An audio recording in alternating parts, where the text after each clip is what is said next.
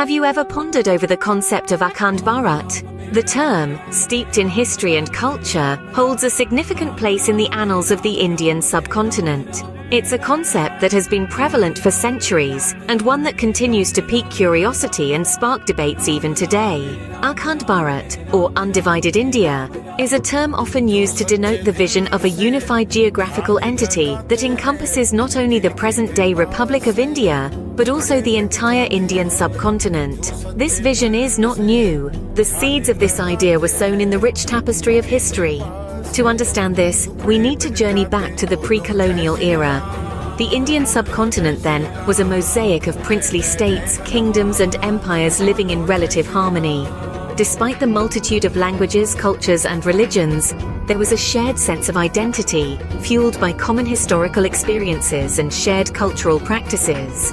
This was the time when the idea of a geographically unified subcontinent existed, albeit in a different form.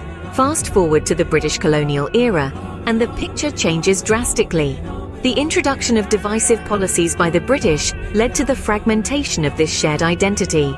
The partition of India in 1947 was the climax of this divisive politics, leading to the birth of two separate nations, India and Pakistan. However, the concept of Akhand Bharat did not fade into oblivion. Post-independence, it was kept alive by various socio-political organizations in India.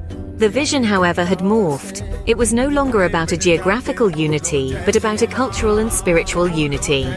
The proponents of Akhand Bharat believed in the shared cultural heritage of the subcontinent, transcending the political boundaries created by the partition. To this day, the concept of Akhand Bharat continues to be a topic of intense debate.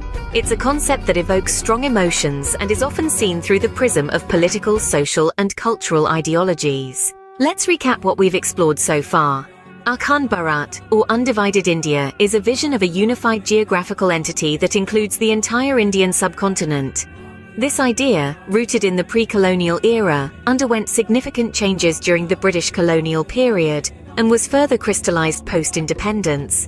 While the concept of Akhand Bharat remains a subject of debate, one thing is certain, it is a reflection of the complex and layered history of the Indian subcontinent. It serves as a reminder of a shared past, a shared cultural heritage that continues to bind the people of the subcontinent, despite the political boundaries and divisions. Remember, history is not just about the past, it's also about understanding the present and envisioning the future.